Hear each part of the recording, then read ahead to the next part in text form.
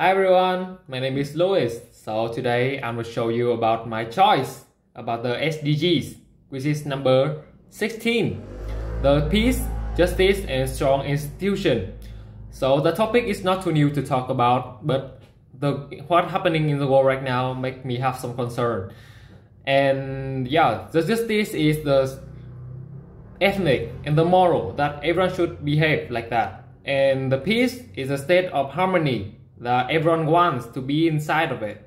And no one should be bleed because of the nameless war. And finally the strong institution is with the strong institution in the, any country that make the people inside that country will make them confident and love to live in that.